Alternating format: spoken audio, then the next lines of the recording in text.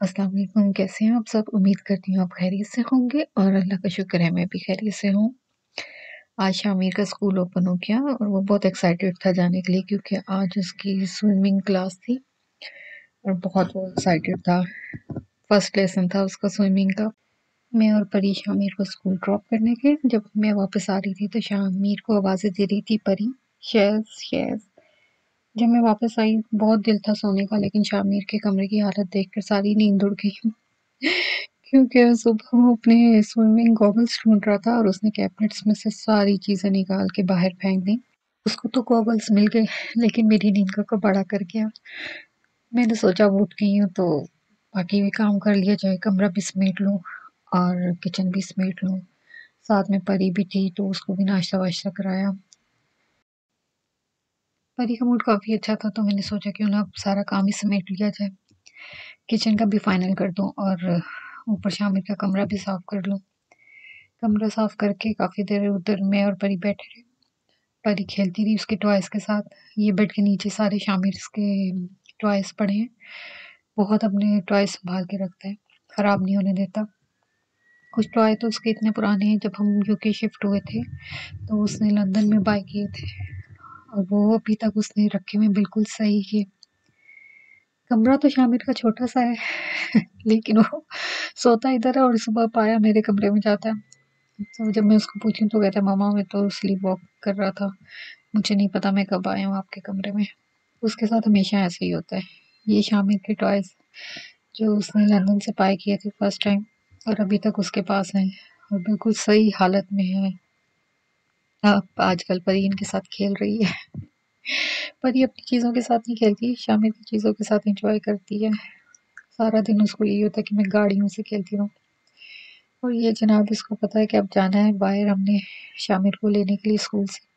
वो पहले ही दरवाजे के पास खड़ी है और उसको चेक कर रही है कि कैसे खुलेगा।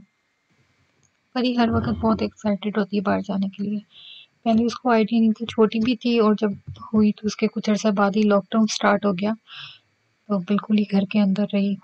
अब कुछ अरसे से उसको बाहर निकाला है कि थोड़ी वॉक करे, कोई और अब वो कहती है कि मैंने घर के अंदर नहीं आना। स्कूल के सामने पार्क है। यहाँ जाके वो स्कूल की तरफ़ टर्न ही नहीं लेती। वो कहती है, पहले पार्क जाना है, झूले लेने फिर कहीं और जाना है। मैं परी को पार्क में आ गई और शामिर को लेने उसके पापा चले गए और ये देखें शामिर आ गया। आज ही काफ़ी खुश था क्योंकि इसका आज फ़र्स्ट लेसन था स्विमिंग का तो काफ़ी एक्साइटेड था। और शामिर स्विंग पे जाने लगा तो एक और बच्चा आ गया तो शामिर ने छोड़ दिया।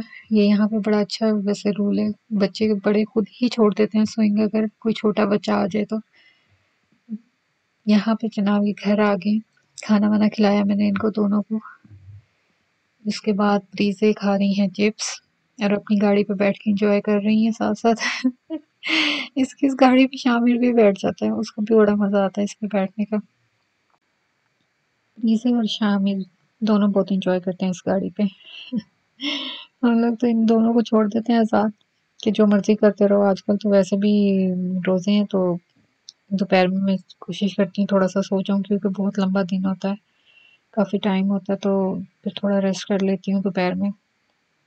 बच्चे भी ऐसे ही लेट उठते हैं। अब तो उनके भी स्कूल खुल गए हैं तो अब देखें क्या रूटीन होती है। पहले तो सैरी करके हम सोते थे। मज़े से भी साथ सो जाती थी तो काफ़ी टाइम अच्छा गुजर जाता था। उठते थे तो नमाज़ और तैयारी और बस। फिर कोई पता नहीं चलता था कि टाइम कैसे गुजर गया। अब जब से स्कूल जा रहे हैं बच्चे तो काफ़ी वो लॉन्ग डे हो गए हैं। सारा दिन सही का। बच्चों के साथ जो है ना भाग दौड़ लगी रहती है। आप सबके रोज़े कैसे गुजर रहे हैं? मुझे कमेंट्स में ज़रूर बताएँ। आप सबसे बात करके ऐसा लगता है जैसे मैं फेस टू फेस सबसे बात कर रही हूँ। अच्छा लगता है मुझे ऐसे बात करना सबसे। अब पहले शुरू शुरू में काफ़ी मुझे प्रॉब्लम हुई है, लेकिन अब मज़ा आने लग गया है। अब अच्छा लगता है अपनी वीडियो शेयर करना और अब सबसे बातें करना। आज मैं अफ्तारी में बना रही थी पुलाव। बिरयानी मसाला डाल के। जब जल्दी का काम निपटाना हो तो फिर मैं बिरयानी की बजाय इसमें पुलाव में बिरयानी मसाला डाल के बना देती हूँ। चिकन बोनलेस के साथ मैं बना रही थी। इसमें मैंने डाला है टमाटर, अदरक, लहसुन और बिरयानी मसाला। मुझे ये स्पाइसेस कम लगती हैं तो इसके साथ मैं ऐड करती हूँ अपने घर का भी लाल मिर्च पाउडर और नमक। दही ऐड किया है और अच्छा से इसको भून रही थी। ये बनाना मुझे इजी लगता है, क्योंकि बिरयानी में ज़्यादा टाइम लगता है, इसको मैं फटाफट झटपट बना लेती हूँ और टेस्ट भी बिरयानी वाला आ जाता है, क्योंकि बिरयानी मसाला ऐड होता है इसमें। और रोज़े की हालत में वैसे भी अब आजकल सुस्ती होने लगी है, दिल नहीं करता शाम को कुछ बनाने को। दिल करता है सो जाओ बस अफ्तारी में पुलाव और बिरयानी खाने का अपना ही मज़ा है। मैं जिस दिन राइस बनाती हूँ तो उसमें और कुछ एक्स्ट्रा नहीं बनाती साथ। बस फ्रूट होता है और शरबत होता है, क्योंकि फिर राइस नहीं खाए जाते, इसलिए मैं कोई और आइटम साथ पकौड़े या कुछ भी नहीं बनाती, फिर खाली राइस ही खाते हैं हम लोग, ताकि सही मज़ा आए खाना खाने का। अगर बाकी चीज़ें हों, चाट हो, पकौड़े हों, समोसे हों तो फिर राइस नहीं खाए जाते, इसलिए मैं नहीं बनाती। आप लोग भी मुझसे ज़रूर शेयर करें कि आप लोग क्या बनाते हैं और क्या खाते हैं अफ्तारी में। पाकिस्तान में तो ये मज़ा है ना कि बाहर निकलो मार्केट में सब कुछ मिल जाता है। हमारे यहाँ पे ये प्रॉब्लम है कि आसपास कोई भी ऐसी दुकान नहीं है कि जहाँ से हम पकौड़े, समोसे इजीली खरीद सकें। इसलिए सारा कुछ घर में ही बनाना पड़ता है। ये देखिए मेरे चावल के लोग, मेरी वीडियो को लाइक और शेयर करें। मुझे इजाज़त दें। अल्लाह हाफिज़।